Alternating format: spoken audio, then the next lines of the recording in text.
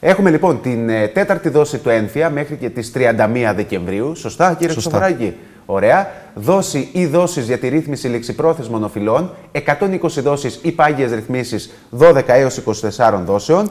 Την, την τελευταία δόση φόρου εισοδήματος νομικών προσώπων και τα τέλη κυκλοφορίας του 2020.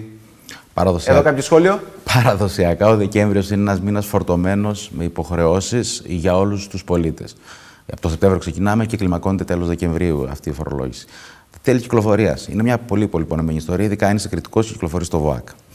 Καλά, ναι. Εννοείται. Ε, και πέρυσι είχα, είχα, είχαμε περάσει, εγώ τουλάχιστον είχα αναφερθεί άπειρες φορές σε ερωτήσεις συναδέλφων σας για σενάρια περί της μείωσης των τελών κυκλοφορίας. Άλλη μια χρονιά ακόμα, τα τέλη κυκλοφορίας παραμένουν πάρα πολύ υψηλά, στα ύψη που ξέραμε για τα προηγούμενα χρόνια.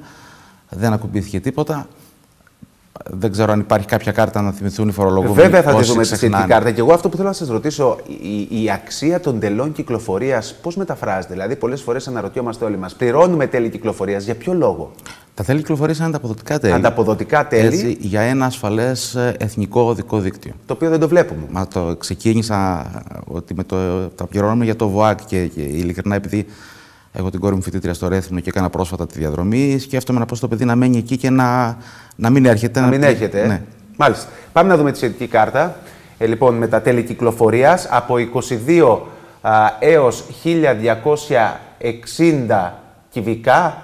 Φαντάζομαι. Ναι, ναι. Λοιπόν, ε, εκεί ε, από το 2000, έτος κυκλοφορίας οχήματος 2001 έως 2005 από 22 έως 1260 ευρώ, παρακαλώ, και από 22 έως 1.380 ε, ευρώ για οχήματα που κυκλοφόρησαν από το 2006 έως το 2010. Ενώ για τα αυτοκίνητα που κυκλοφόρησαν από 1η Νοεμβρίου του 2010 και μετά, τα, τα τέλη κυκλοφορίας υπολογίζονται με βάση τις εκπομπές ρήπων.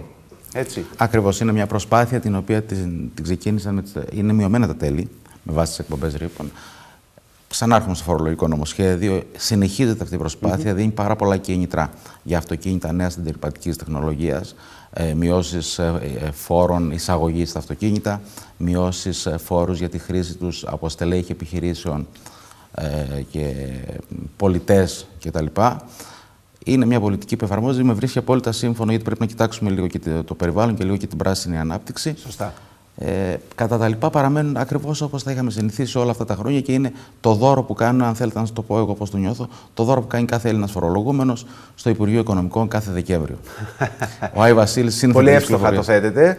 Και θέλω να σας κάνω τώρα μια ερώτηση. Κοινωνικό μέρισμα. Έχει γίνει μεγάλος δώρος τις τελευταίες ναι. μέρες; Ποια είναι τα ποσά, ποιοι θα είναι τελικά οι δικαιούχοι; Δεν ξέρω αν έχετε νεότερα της, εκ των Αθηνών από που βρεθήκατε τις προηγούμενες ώρες. Εκ των Αθηνών δεν υπήρξε κάτι νεότερο το προηγούμενο μέχρι τη Δευτέρα που ήμασταν εκεί. Σήμερα ε, βγήκαν κάποια νεότερα από δηλώσεις του κυρίου Πέτσα.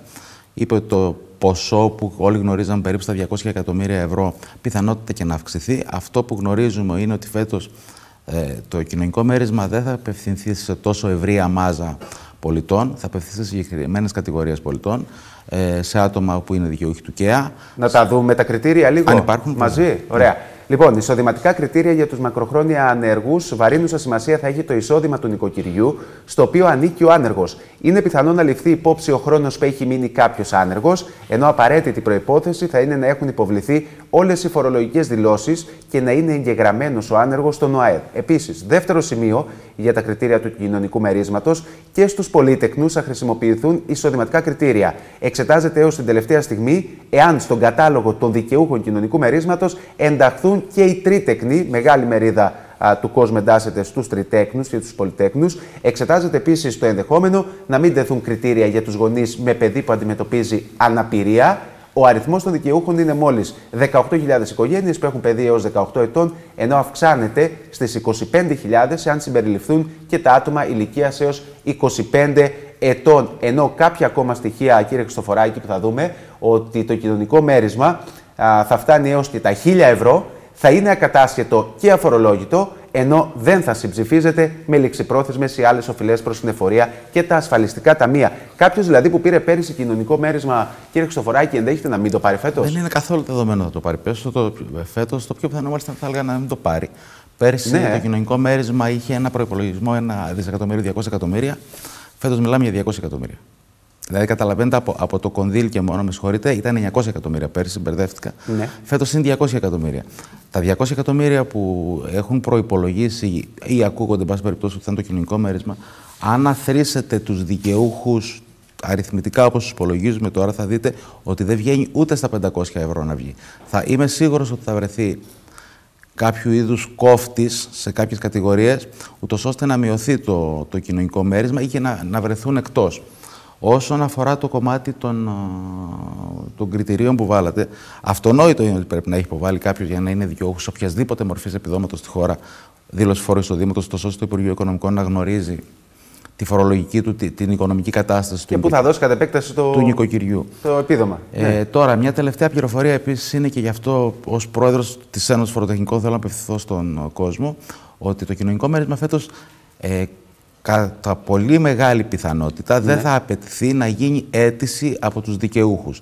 Το Υπουργείο είτε μέσα του ΕΦΚΑΕ είτε μέσα του ΟΠΕΚΑ ε, είτε μέσω του ΑΕΔ έχει τα στοιχεία των δικαιούχων, ακόμα και τα IPAN, και πιθανότητα θα τα πιστώσει στους λογαριασμούς τους χωρίς να απαιτηθεί να γίνει κάποιο είδους αίτηση. αίτηση όπως το Οπότε λίγο να κάνουν υπομονή, επειδή τις τελευταίες μέρες στα λογιστικά γραφεία γίνεται το αδιαχώρητο για το μέρισμα, ε, λίγο να κάνουν υπομονή να βγει απόφαση και αν απαιτείται αίτηση, εδώ είμαστε να τους βοηθήσουμε να κάνουμε τις αιτήσεις. Προς το παρόν, πάντως, ακούγεται ότι δεν θα χρειαστεί αίτηση. Πάμε να τρέξουμε λίγο τις πληροφορίες. Δικαιούχοι επιδόματος θέρμανσης. Φαντάζομαι όσο πλησιάζει έτσι και ε, πλησιάζουν και οι κακές καιρικέ συνθήκες, γιατί αλλήμον θα έρθουν και αυτές κάποια στιγμή.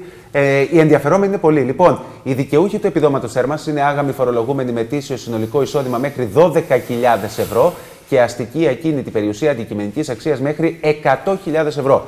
Επίσης, δικαιούχοι είναι οι έγκαμοι φορολογούμενοι με τήσιο συνολικό οικογενειακό εισόδημα μέχρι 20.000 ευρώ και αστική ακίνητη περιουσία αντικειμενικής αξίας μέχρι 20.000 ευρώ. Ενώ θα δούμε και στην 200.000 ε, ευρώ, με συγχωρείτε, ε, ενώ όπως θα δούμε και στην επόμενη κάρτα, το εισοδηματικό όριο των 20.000 ευρώ προσαυξάνεται κατά 2.000 ευρώ για κάθε εξαρτώμενο τέκνο με συγχωρείτε, έγγαμος με ένα παιδί εισόδημα έως 22.000 ευρώ και αξία κινήτων έως 200.000 ευρώ. Έγγαμος με δύο παιδιά εισόδημα έως 24.000 ευρώ και αξία κινήτων έως 200.000 ευρώ. Έγγαμος με τρία παιδιά και άνω εισόδημα έως 26.000 ευρώ και αξία κινήτων έως 200.000 ευρώ. Ενώ για μονογονεϊκές οικογένειες που κατά το προηγούμενο έτος, κύριε Χρυστοφοράκη, είχαν ετήσιο συνολικό εισόδημα μέχρι 22.000 ευρώ και κατήχαν αστική ακίνητη περιουσία μέχρι 200.000 ευρώ. Το εισοδηματικό όριο των 22.000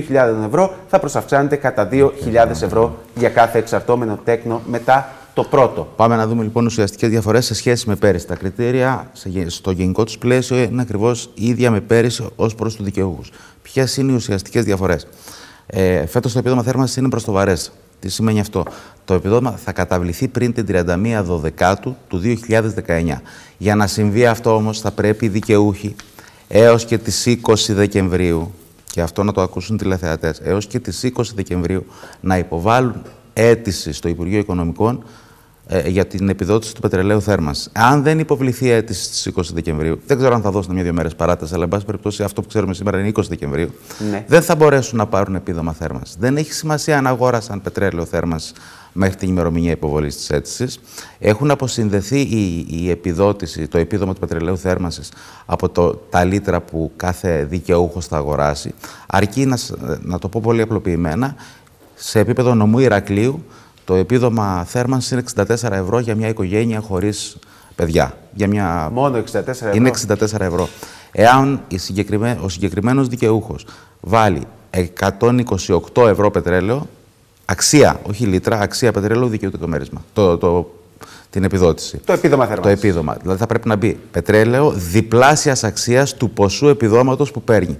Πέρσι συνδεόταν πολύ με, με τα λίτρα. Αυτό, χρηστική πληροφορία. Και, πολύ, και επιμένω πάρα πολύ γιατί υπάρχουν άνθρωποι που λέμε 64 ευρώ, μα είναι λίγα. Είναι προς αυξανόμενο κατά 10% για κάθε ανήλικο τέκνο. Επίσης, μια άλλη ουσιαστική διαφορά είναι ότι είναι προς αυξανόμενο το ποσό του επιδόματος κατά 20% για ορεινές κοινότητες, ακόμα και αν αυτές πλέον συμμετέχουν σε ευρύτερα σχήματα ε, ημιορεινών ή παιδινών δήμων. Τι θέλω να πω, ότι υπάρχουν στον κοινότητες ορεινές που πλέον ανήκουν στο Δήμο Φεστού που είναι κατά κύριο λόγο παιδινός. Υπάρχουν όμως κοινότητες που ήταν ορεινές. Να μην αναφερθώ σε χωριά. Αυτοί έχουν μια προσάυξη 20%. Και πάλι όμως όλοι αυτοί για να καταφέρουν να πάρουν το επίδομα θα πρέπει μέχρι τις 20. Είναι σημαντικό να πάνε να υποβάλουν την αίτηση. Διαφορετικά δεν θα μπορέσουν να πάνε να το πάρουν. Μέχρι τις 20 λοιπόν του Δεκέμβρη αιτήσεις για το επίδομα θέρμανσης. Κύριε Χρυσοφοράκη, είχα σημειώσει, δεν ξέρετε πόσα θέματα να συζητήσουμε μαζί. Ο χρόνος είναι αμήλικτος δυστυχώς. Θέλω παρόλα αυτά να σας ευχαριστήσω πάρα πολύ. Εδώ είμαστε βεβαίως να τα ξαναπούμε. Ε, να είστε καλά, καλή συνέχεια.